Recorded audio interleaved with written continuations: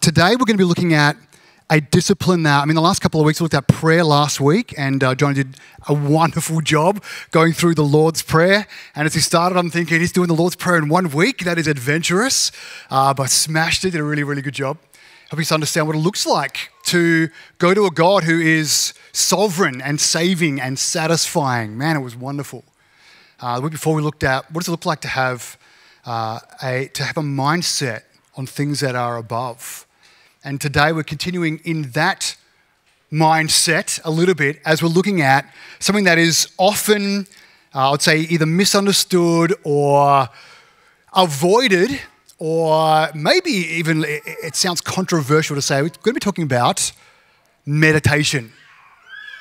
When I say meditation, uh, the Bible talks about meditation a lot. So, for example, where the psalmist says, Let the words of my mouth and the meditation of my heart be acceptable in your sight, O Yahweh, my rock and my redeemer. Or he says later, Psalm 119, I will meditate on your precepts and fix your eyes on, my, on your ways. Or even as we just heard from Deuteronomy, and Jesus um, reaffirms the Shema, where he says, Love the Lord your God with all your heart, soul, mind, and strength. How do we do that? Is what we're looking at today. We're talking about meditation. Some of you might think, oh, meditation, that sounds like, like an Eastern philosophy thing. So we're just going to kind of shelve it over there because that's spooky or spiritual or doesn't sound very Christian. Uh, but it is, well, meditation at least, is very Christian as we're exampled and we're instructed to do this very thing. So, what I do is today, in a, in a not too uh, protracted time, going to look at the scriptures, help us understand what is meditation, what isn't it. So, if we have some misunderstandings around what that is, how we are to engage in it, and how it's amazingly beneficial for us as people who belong to Jesus, who worship Jesus. Uh, so, let's pray and then we'll get stuck into some more scripture. And so, Father, I want to thank you today for your scriptures. Thank you for helping us to be able to understand more of who you are, more of your character, more of your work in the world, your creative work, your sustaining work, your saving work. And so help us today to have uh, an open mind, but also a mind fixed on you. We, like we looked at a couple weeks ago, we want to have our mind set on the things that are from above. And so as we're looking at meditation today, help us to echo the psalmist that the words of our mouths and the meditation of our hearts would be acceptable in your sight, our rock and our redeemer. In Jesus' name, amen. All right, so just, I know it's summer. Some of you have had a lot of sun this week. Some of you might have had a late night last night. We've had two weddings in the church this week. Uh, so many of you, you know, might have had a big week of celebration. You might be all peopled out. Let me just give you the headline what meditation isn't and what it is. Meditation, from a Christian perspective, as we look through the scriptures, when we see the word meditate, what we're not talking about is emptying your mind. That's not meditation from a scriptural or Christian perspective. It's not going up on a hill and trying to empty your mind, become one with the universe. That's not what the scriptures are talking about when they say meditation. So, if you have that concept of meditation in your mind, and then you read in the scriptures, meditate, and you think, that doesn't sound right, I'm just not going to meditate. We just need to get a better understanding about what scripture actually means when it talks about meditating. The spiritual discipline, oh, sorry, meditation is the how of the discipline, spiritual discipline, of loving the Lord your God with all your mind. It is one of the ways in which we love the Lord our God with all of our mind. How do you love the Lord your God with all your mind? What is the mind? How do we meditate? What does that even mean? What does that look like? Uh, with the mind, I promise we're going to get into scripture very soon. Mind is very complicated. Uh, I've been listening a lot this week. Very famous philosophers and scientists from different fields, uh, different specialities, and 0% of them are confident to say this is what the mind truly is. Uh, it is non corporeal, immaterial, non biological, but at the same time not distinct from your biology. Your mind affects your body. And uh, some of the research that I was reading, I didn't do the research, I was reading people's research this week, looking at how our mind affects our body, but also how our bodies affect our mind. So, minds are incredibly important. You can train your mind to think in particular ways, you know, develop new neural pathways in your brain. Uh, lots of things that are outside the scope of the sermon, but I already geeked out on learning about this week uh, and, and in general. The mind is not your spirit, but it's inseparable from your spirit. The, your mind uh, and your spirit can be separated from the body, but as we look in Scripture, that's a, that's a grievous thing.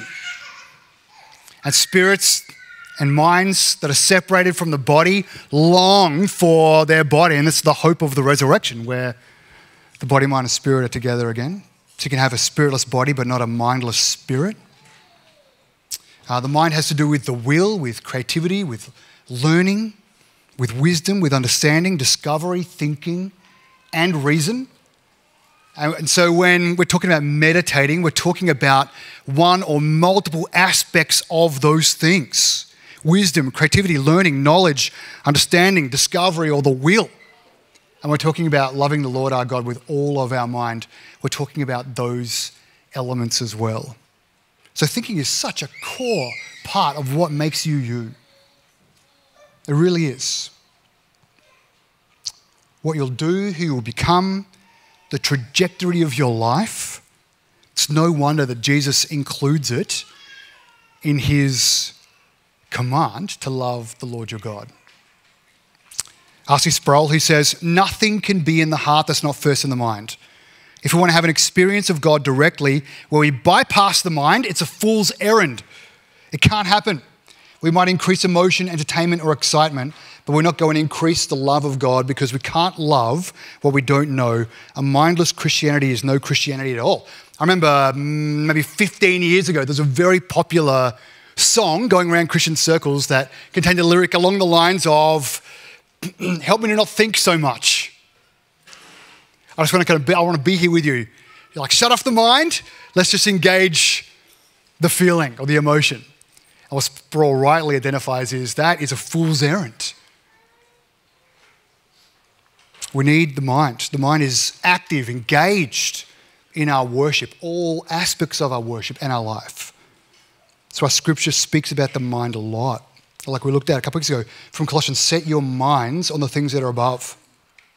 Or Romans 8, for those who live according to the flesh have their minds set on the things of the flesh, but those who live according to the Spirit have their minds set on the things of the Spirit. Now, the mindset of the flesh is death, but the mindset of the Spirit is life and peace. The mindset of the flesh is hostile to God because it doesn't submit to God's law, Indeed, it is unable to do so. Those who are in the flesh cannot please God. And famously, Romans 12, where Paul writes, Therefore, my brothers and sisters, in view of the mercies of God, because of what we know about God, I urge you to present your bodies as a living sacrifice, holy and pleasing to God. This is your true worship. Don't be conformed to this age, but rather be transformed by the renewing of your mind, so that you may be able to discern what is the good, pleasing, and perfect will of God. For, by the grace given to me, I tell everyone among you not to think of himself more highly than he should. Instead, think sensibly, as God has distributed a measure of faith to each one. So you can't love God with, a, with an untransformed mind, just like you can't love God with an unregenerate heart. We can learn about Him, gain knowledge about Him, but to love Him, we need new thinking that comes from Him.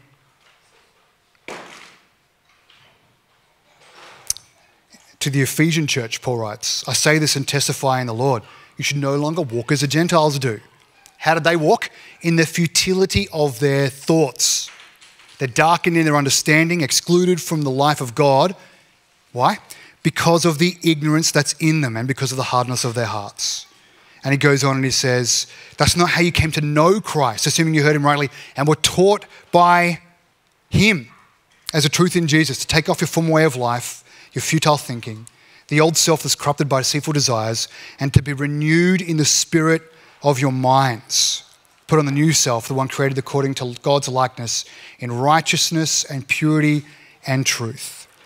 So, hear how Paul is keen for his disciples, for the church to operate out of truth, not out of ignorance, not out of foolishness or futile thinking. His, his key is the difference is the renewed mind. Something about the mind. Obviously, we talk about the regenerate heart a lot. And Paul also emphasizes this renewed mind. The old self is gone, the new self is on. The new self concerned with truth. Truth that doesn't terminate at knowledge. It's not satisfied by just knowing, but a knowledge that leads to worship, that leads to a life lived for God. It's doctrine that leads to devotion. It's truth that leads to worship. Not just facts, but knowledge that turns into adoration. So it's not an adoration that abandons knowledge, that jettisons the mind, goes, I'm just gonna just gonna feel with the heart and adore, but it is a renewed mind, a renewed heart that worships God in spirit and in truth. Piper wrote, uh, there are several components to this, to the intellectual love of God, to the renewed mind love of God. Firstly, there's dedicating our minds to knowing Him. Secondly, thinking clearly and truly about Him so we don't have false ideas in our minds, so we don't have a false picture of God that we're worshipping. We actually we need to think rightly. In fact, this, the word repentance, uh, you may have heard, denotes a I was heading this way and now I have done a 180 and I'm heading this way. Uh, and more, to more fully understand the word repentance, it actually uh, it denotes conforming to the mind of God, to actually thinking His thoughts, to thinking like Him. And thirdly, he says, not being satisfied with a mere intellectual awareness of His attributes, character, and acts, but intentionally devoting that mental effort to serve the affections for God. So he's saying the person doesn't move from an intellectual awareness of God, like, wow, God is massive, amazing, mighty, to then expressing that, then we haven't actually gotten to worship. We don't want to just stay in the intellectual and we don't want to jettison the intellectual and just be in the emotional. We want doctrine that leads to devotion. We want a renewed mind that leads to a regenerate heart glorying in the glory of God.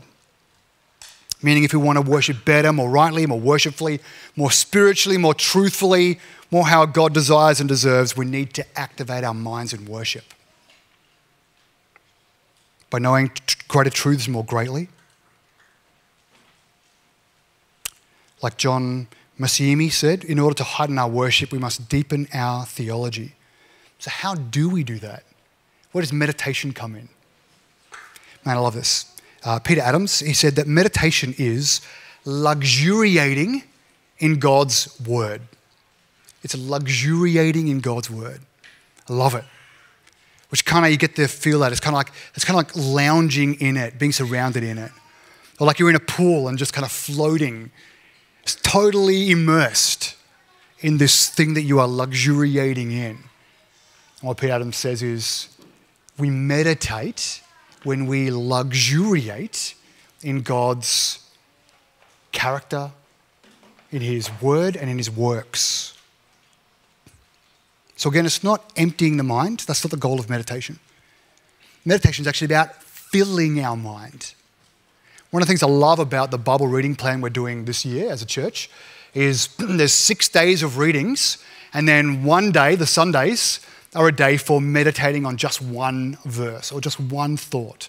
And intentionally, so that at least once a week, we would be spending time meditating on just one thought, one aspect, one characteristic, one work of the saving, satisfying, sovereign God of the universe. My hope is that it's not just once a week, like that we, we're in the practice of meditating. We meditate on God's word, meditate on his works, meditate on his character, meditate on his son. Let me just quickly break these down. First, meditation on God's word. 1. His delight is in the law of the Lord and on his law. He meditates day and night. He's like a tree planted by streams of water that yields its fruit in its season and its leaf doesn't wither. In all that he does, he prospers. So, what Peter Adams is talking about, like luxuriating in the works of God. Uh, David here is writing about what does meditating on the law do for us when we think about it day and night, when it's consistently or constantly churning over in our minds as we're thinking about the character of God, the works of God, the Word of God, especially here, the law, like the, the Word of God. When I think about it all the time, it says that person is like a tree that grows its roots right down deep, right next to an everlasting source of nourishment, of life, of strength. Doesn't matter what comes. Doesn't matter when famine comes, when um, uh, when uh, what, what is it? Let's read it properly. It doesn't matter when. Uh, doesn't even say in this part here. But its leaf doesn't wither, and all it does, he prospers. Everything else turns to windy desert. And this tree planted by the river doesn't just survive, but thrives and bears fruit. By filling our minds with the Word of God by spending time in the Word of God, that the God of the universe, like the, the being who whispers and billions and billions and trillions of stars and galaxies appear in obedience to his voice. This being who made us, who sustains us with, his, with that same word, he loves us he hasn't left us to try to fend for ourselves or figure things out by ourselves, but has given us His word, both in the written form in our scriptures and in the physical form in His Son Jesus. And we want to fill our minds with His word. We want to know God. So uh, the writer of Hebrews says, This is the covenant I'll make with them after that time, says the Lord. I'll put my laws in their hearts I'll write them on their minds. A God loving mind is full of the Word of God. We meditate on it, we luxuriate in it, we roll it around in our minds. What I, what I like to do in this sense is, is to, like we're doing with our, with our Bible reading plan, pick a verse or a paragraph and just think about that paragraph. I'll, I will put it in places where I can see it. I'll come back to it uh, after day after day after day, thinking about that one verse. What does it tell me about the work of God? What does it tell me about the character of God? What does it tell me about His work in the world? What does it tell me about me? What does it tell me about the way that I should live my life? And the more I ruminate on it, the more I think about it, the more I dwell in it or luxuriate in it, the more it has its effect on me. Secondly, meditation on God's works the psalmist again, I will remember the deeds of Yahweh. Yes, I will remember your wonders of old. I'll ponder on all your work and meditate on your mighty deeds. So, Christian meditation involves reflecting on God's might of his mighty work in the world, uh, in the world relating to us, in our lives ourselves, where we recount the evidences of God's grace in our lives. We think about those things about how good is God? How good are his works? How good are his ways? We saw that before with his character, with, his word. We'll see that with his character in a minute. And we see that in his works, how he is operating in the world, how he operated throughout scripture. And as we think about these things, this type of meditation fills us with gratitude, fills us with awe as we recognize more and more of how God is at work in our lives. When we don't meditate about the work of God in our lives. We can neglect it, and in fact, we can miss it. And we can start to feel distant from Him because we start to judge His love for us based on our circumstances rather than based on His consistent work in our lives. And so we go, I'm suffering now. Where is God? Or you might say, I asked for this, but I got that. Where is God?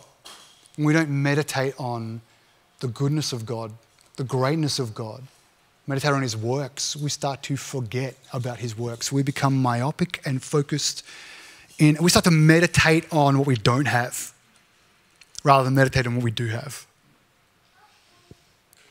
Thirdly, meditate on God's character. Oh, the glorious splendor of your majesty, and on your wondrous works I'll meditate from Psalm 145.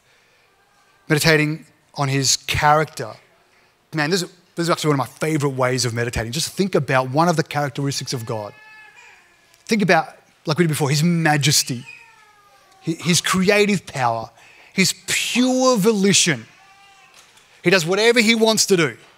I saw one of those, you know, those videos.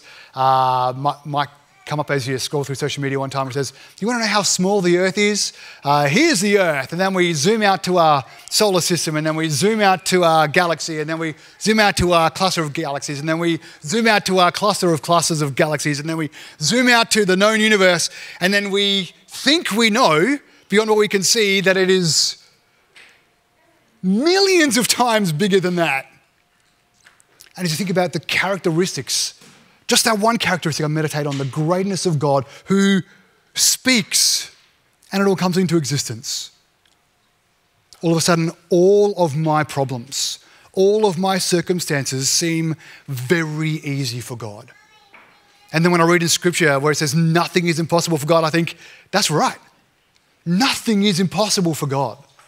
Because I have this immensely zoomed out view, still totally, wholly inadequate to, to view him in his grandeur, but at least to a degree that helps me in that meditation to trust in him, to worship him. That's just one characteristic. What about his love? What about his forgiveness? What about his mercy? What about his holiness? What about his justice? Imagine spending a week or a month daily, hourly, reminding yourself of his justice, getting into the scriptures and trying to understand more about his justice. How much more will you understand him? How much more can we worship him? How much more will we want to pursue his kind of justice, have our minds set on the things that are above when we meditate and gain the mind of Christ in that way? Fourthly, meditate on Jesus. The writer of Hebrews is saying, fix your eyes on Jesus. He's the author, He's the perfecter of your faith. Look at Him. Fill your mind with Him. Become like Him. Gain the mind of Christ, like think like Him, love like Him, relate to the Father like Him, forgive like Him, love others like Him. Like the writer Corinthians says, we used to view Jesus from a worldly point of view, but we don't do that any longer. And neither do we view each other from a worldly point of view, but we view each other like Jesus views us because we've gained the mind of Christ. Or in Philippians 2, have this mind among yourselves. What mind should we have? What mindset should we have? How should we set our thinking? Which is yours in Christ Jesus, who, though he was in the form of God, didn't count equality with God a thing to be grasped, but emptied himself by taking the form of a servant. So as we look to Jesus, we see him again more in, in his godly characteristics, but we also become more like him because we love what he loves and we hate what he hates. And we pursue what he would have us pursue. And we view one another how he views us and we relate to the Father how he relates to the Father because we've been adopted as the Father's sons and daughters in Him. We are in Him. So fix our eyes on Him. And what does this do? It, do, it fulfills that Romans 12 command to be transformed by the renewing of our minds. That our minds are renewed as we don't empty them, but rather we fill them with Scripture. We fill them with ruminating and luxuriating in the character of God as we fill our minds with the works of God, how He's been at work, how He is at work, how He promises to work in the future. And then by testing we may discern what the will of God is, what is good and acceptable and perfect with our new minds. I don't know, I don't, I'm not saying we do this perfectly, but we do this to the degree that we gain the mind of Christ. And one of the spiritual disciplines that leads us there is that we would meditate on God, on His works, on His word, on His character, and on His Son. Like I mentioned before, this is one of the reasons it's so important to watch what you sing. Because when you sing, you're, you're kind of you're, you're both speaking and you're hearing, your mind is engaged, your faculties are engaged, your emotions often are engaged. And so we're almost preaching to ourselves when we sing. And we're preaching to ourselves when we speak. And our self talk as well is also meditation. And we want to do the work of, like Paul writes, to take every thought captive and subject it to Jesus. Everything, no thought flows freely, uncritiqued, unchallenged. All of them. We take captive of every thought and then subject every thought to Jesus, lest we begin meditating on the things that will take us away from Him, that will distract us from Him, or will paint an incorrect, like an untruthful picture of who He is in our mind. Maybe the, the worst of them all is that. And we start worshiping and following a God that doesn't exist. We need to be meditators. Meditation is about renewing our minds, helping us discern God's will, live in alignment with Him as we become more like Him. And so, in our discipleship groups, we're going to talk about in fact, some of your discipleship groups aren't back yet. But when we get back in our DGs, we're going to be talking about meditation. How do we do this? How do we do this well? How to do this? Because a, if you just Google how do I meditate, you're going to come across a lot of unhelpful ways to meditate. The emptying your mind, or you're focusing on other things. We want to fill our mind with, again, the work, the word, and the character of Jesus. So we'll do some of that work in our discipleship groups. Uh, if you're visiting with us, man, you're welcome to come join one of those DGs. Uh, or if you just want some, I don't know, I loathe to say tips, but some uh, strategies on how to implement meditation in your life, come speak with me afterwards. Uh, for now, let's pray. And so, Father, I want to thank you for these scriptures. Thank you for helping us to understand how we can understand. Father, that's our hope is that we would gain the mind of Jesus, think like him, love like him, forgive like him, relate with you in the world like he does, to the degree that we can. And so help us in every way to have our minds filled with meditation of your character, of who you are. We don't just want to know stuff about you, we want to know you, know you well, know you more know you truthfully, who you really are, to know, to fill our minds and know more of your works, what you've done, what you're doing, what you're doing in us, how you're active in the world even now, and that we have a greater confidence and assurance in the promises of how you're going to work in the future. Father, of your word, your scriptures, have spoken to us already, that our minds be filled with your word and filled with the likeness of Jesus, who He is, what He's done, what that means. So help us, Father, in every way to have renewed minds so that we can discern what is your good and perfect and pleasing will. Because we want to worship you well. We want to have a renewed mind, a regenerated heart that leads to adoration, devotion, worship, praise honor, glory to you. We pray this in Jesus' name and for his sake.